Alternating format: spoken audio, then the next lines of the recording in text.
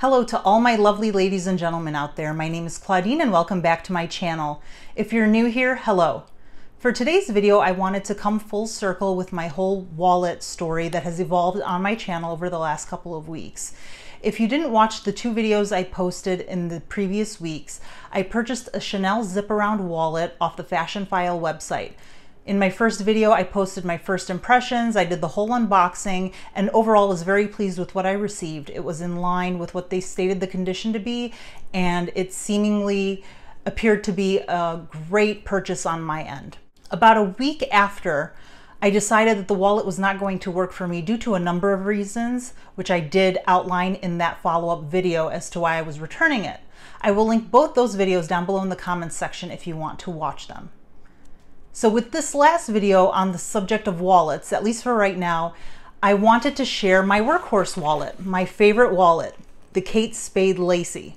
This is the item that I use day in, day out, probably 99.99% of the time. I rarely size down. The only time I do really is when I'm carrying a bag that will not accommodate this huge wallet. Otherwise, I just stay in this because I love it. I love how much it holds, what it carries, all that good stuff. Before I dive into the details of this wallet though, I did want to put everyone's mind at ease and let you know that I will be branching out beyond the topic of wallets in the coming weeks. It just was a case of the perfect timing. I ended up buying that wallet off Fashionphile and it coincided with the start of this YouTube channel for me. So it worked out to be a great topic and a great subject to cover in my first few episodes on this channel. So once we're done with this particular review, I will probably set the topic of wallets off to the side for at the very least one week, maybe two. And, um, and the only reason I say that is because I do have in mind to review a passport case that can also serve as a wallet. So should that video come up sooner rather than later, uh, forgive me, but I promise it's really funny. I am not a big wallet person at all. I'm a handbag person first and foremost. For me, wallets, like I said, it's this baby 99.99% of the time. The rare cases when I do need to downsize for the sake of the size of the purse I'd be carrying on that given day, I have a couple of options. I pull one of them, I use it, boom, end of story. I by no means have a crazy big collection of wallets. It's, like I said, it's just been the perfect storm as far as timing was concerned. So I just wanted to share that with you. We have more bags and sunglass reviews and, and things like that. Wallets will be done for the most part for now. So now that I've cleared that up with you guys, let's dive into this wallet. All right, let me give you an up close and personal look at this wallet. This particular one was released a few years ago for Valentine's Day. It was a limited edition and I happened to be at the right place at the right time. I just decided to walk into my local Kate Spade and, and check out what they had and saw this beauty and, you know, paid for it. I wasn't even in the market for one because I had a different Lacey wallet, which I've since sold. Um, but I mean, this is just so beautiful. Look at all this embroidery and, and it's nice Saffiano leather, which as you can tell, like I said, I've worked, I've used this like crazy. And can you see any signs of wear with the exception of just some minor fading. It probably isn't even showing on the camera to the name Kate Spade New York on the wallet. I mean, there are no scratches. It's, it's beautiful. If and when you decide to buy a wallet like this or this exact wallet, I highly recommend Saffiano leather. It's it makes a wallet so carefree. You know, a wallet's going to be in your purse hitting other items. Go this route. Look, it looks brand new. I've been using it forever and a half. Oh, before I get into it, let me tell you the measurements. It is 7.6 inches across, 4 inches in height, and 0.8 in depth.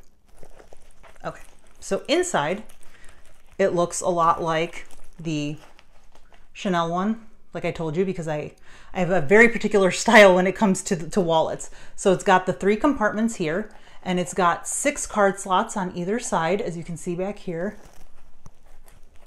and over here as well.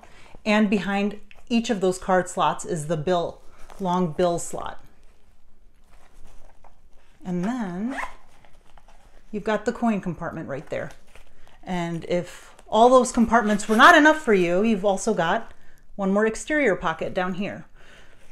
So it is a very spacious, lovely wallet. I I adore it. It is it's the best. I will link down below to the Kate Spade website so you can see the colors and patterns they have available at the moment. Price-wise, it's typically 188 or 198. If I'm not mistaken, this one retailed for 198. This one I purchased on eBay. I don't know, I don't remember what the retail was. I think it was also 198 as well. Um, I actually hopped on the Kate Spade website before filming this video and they actually even had one that was a New York themed wallet that was 158. So it's a very, very affordable option. Certainly far more affordable than the Chanel. Still love the Chanel. I still love the thought of it, but it didn't work for me, but it worked for my wallet. I did not even plan that pun. That is hilarious. Okay. Now, showed you this one. This guy was empty. So we'll move on to this one. This is my wallet that I'm using right now. Again, let me show you up close. It's same Saffiano leather. It's metallic it's shiny, it's perfect. There is a scratch back here that, where is it? I can't even see in the video. It might actually be dirt. I might need to clean that.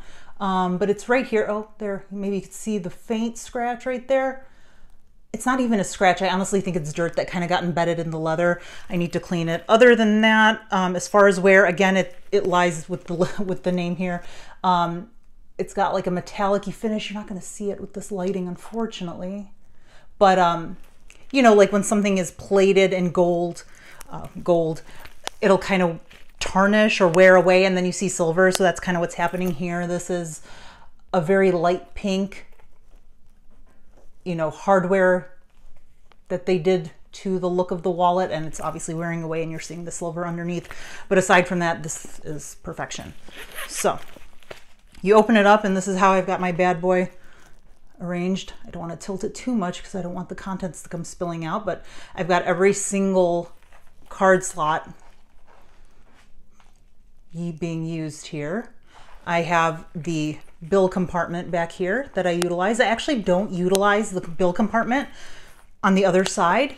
I don't know if anyone else carries a wallet of this size. What do you use the other side for? Comment down below and let me know. Do you put your receipts there? Do you put your other cards there? Maybe some ones that don't fit or that, you know, didn't make the cut for the, for the prime 12 slots in here.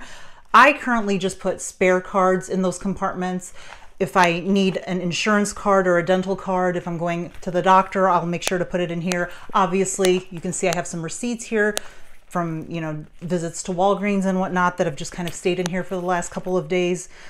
That's pretty much it. There isn't, there isn't, you know, much, much to speak of as far as the contents of a wallet. Back here, if, um, if I have something that I don't want to forget to use, like a coupon or I carry my post postage stamps with me at all times because you never know when you might need a stamp. So I put that back here where it's nice and secure so it doesn't accidentally separate from the uh, sticky surface and then compromise, you know, a forever stamp, which is what, 55 cents now?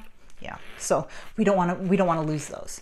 So yeah, that's my wallet. It's, it's a great workhorse. I love, love, love it you know, it is a big wallet. And like I said in my previous video, I think people are kind of gravitating more toward the smaller wallets, but I'm not one of those people. I really love the large wallet. And, you know, when I'm going to work, I'm usually carrying a bigger wallet that can easily accommodate this plus the 10 other things I'm carrying with me at any given time. So it's really a non-issue for me.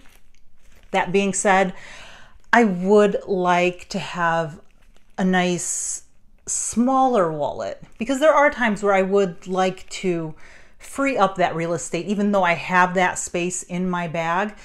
I would like a smaller wallet at times so that if and when I decide to carry an even smaller bag, I don't have to downsize from this one. Hopefully it would be small enough where it, you know, it satisfies my my requirements for the week as well as on the weekend. If you have any recommendations for a wallet that is smaller than this that would serve my purpose for the week as well as the weekend, please do comment down below. Let me know what options are out there. I am certainly open and receptive to other brands, other styles. It would be nice to kind of eventually add a smaller wallet to my rotation that can hold enough and maybe force me to not hold as much as I do carry here. I say I need it all, but really you probably only need 10% of what you're carrying in this wallet anyway. So if you have a good idea or a recommendation for a smaller wallet, please comment down below and let me know. That's it for this video. Thank you for watching. If you liked it, please do give it a thumbs up and subscribe down below. And be sure to ding that bell so that you are notified the next time I do upload a video. Thank you for watching. Bye.